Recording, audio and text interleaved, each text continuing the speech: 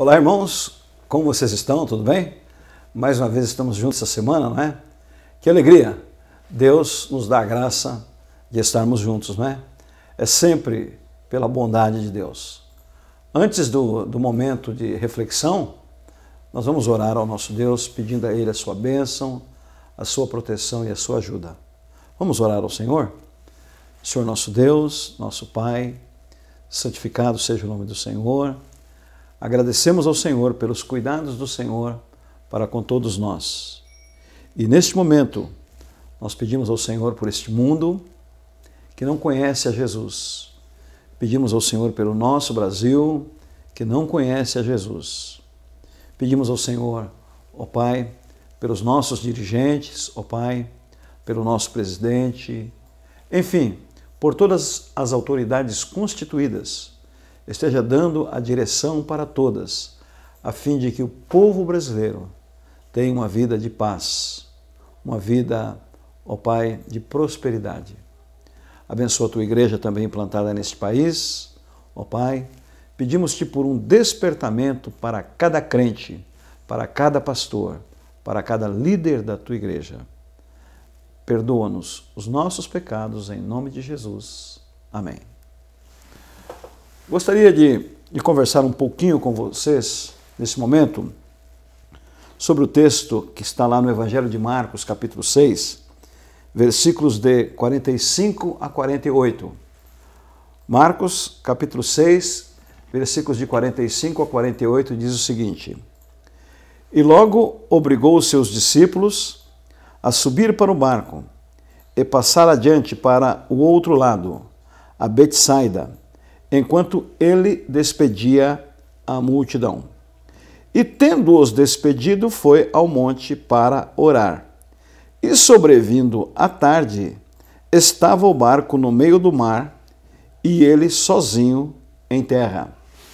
E vendo que se fadigavam a remar, porque o vento lhes era contrário, perto da quarta vigília da noite, aproximou-se deles, andando sobre o mar, e queria passar adiante deles.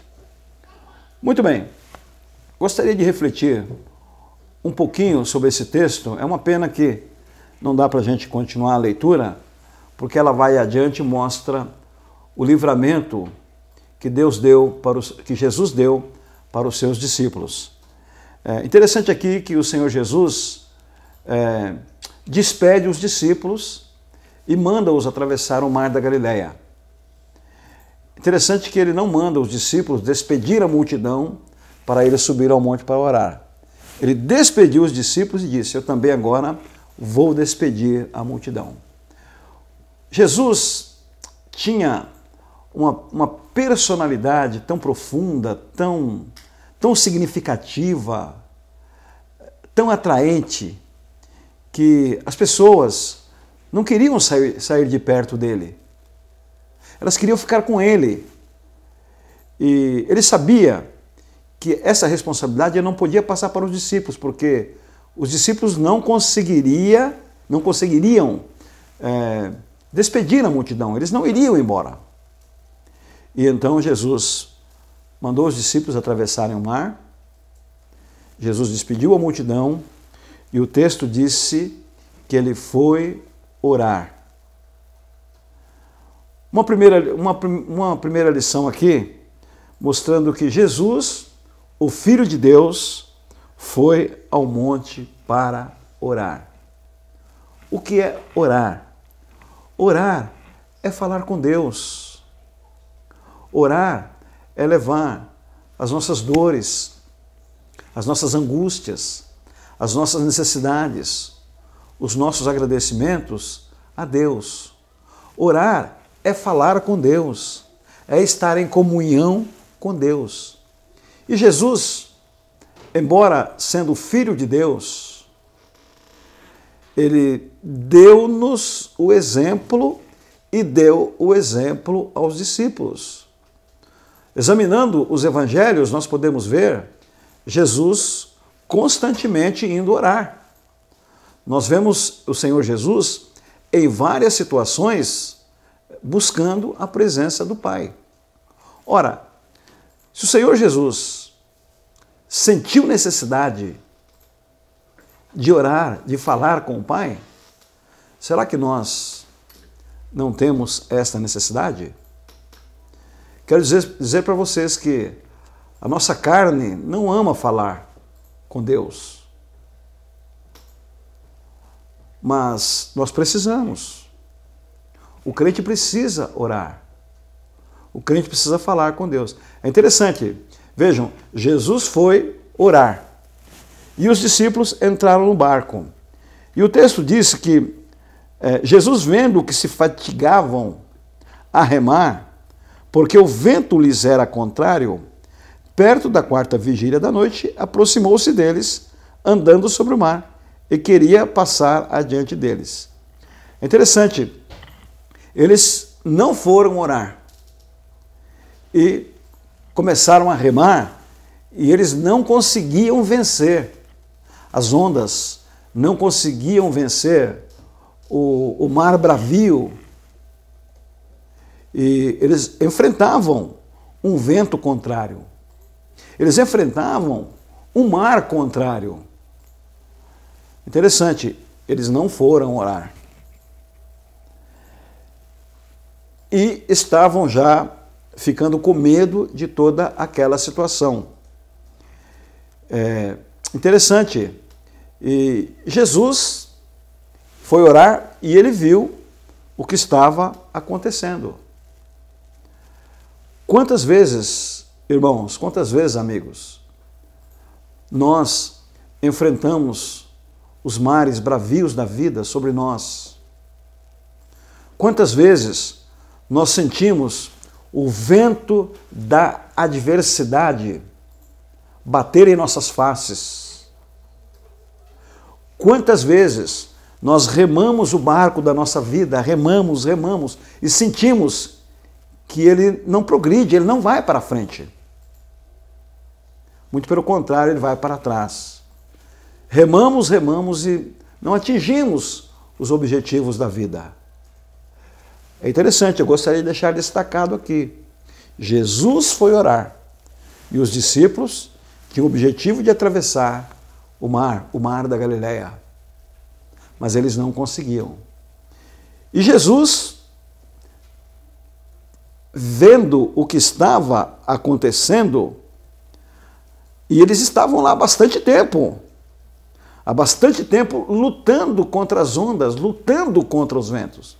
Uma outra coisa interessante, irmãos, é quantas vezes a gente começa a lutar pela vida e parece que Jesus está ausente e parece que Jesus está demorando. Isso aconteceu com os discípulos também. E é interessante que, de repente, Jesus chega. O texto também diz que Jesus viu. Jesus viu o que estava acontecendo com seus discípulos. Jesus vê o que está acontecendo com você. Jesus sabe o que está acontecendo com você. E de repente, Jesus chega perto deles e faz com que, como que se fosse um pouco mais adiante. Mas Jesus, naturalmente, iria entrar no barco.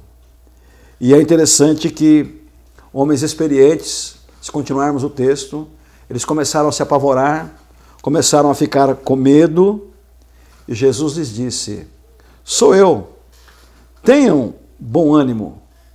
Não temam, vocês não precisam temer. Tenham bom ânimo, sou eu. A lição que eu queria deixar aqui é a seguinte: Jesus sabe o que está acontecendo conosco, de bom ou de ruim. Aprendamos a buscar a Sua presença. E os discípulos tiveram o acompanhamento de Jesus. Jesus entrou no barco, mandou que o vento se acalmasse, mandou que o mar se acalmasse e o mar se acalmou. Sou eu, não temais. Você não precisa ter medo. Sabe por que você não precisa ter medo? Porque Jesus sempre está por perto. Jesus sempre está por perto. Jesus está mais perto do que você imagina. Não temas, não tenha medo. Vamos levantar, vamos ficar de pé, vamos caminhar, vamos em frente, vamos atravessar o mar, vamos remar, vamos pedir a Jesus que faça com que o nosso barco ande. Se o teu barco está amarrado, peça para Jesus desamarrá-lo e siga, siga em frente, não se apavore, porque Jesus está bem do seu ladinho aí, dizendo: não temas, tenha um bom ânimo, tenha bom ânimo, não tenha medo, vamos em frente. E aí, irmão, diante do que foi dito, é, repense a sua vida, repense no barco da sua vida, repense como está a sua vida. Se você pensa que você está sozinho, você está enganado.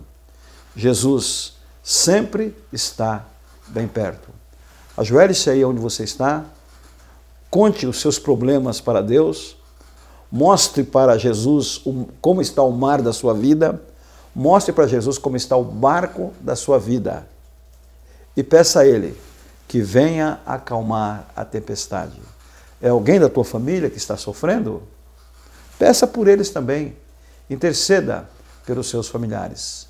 E assim, vamos caminhar junto com Jesus. Vamos convidar Jesus para estar conosco no barco da nossa vida. Que Deus abençoe você, sua família, e te liberte, te derrame sobre você muitas bênçãos. Fica com Deus.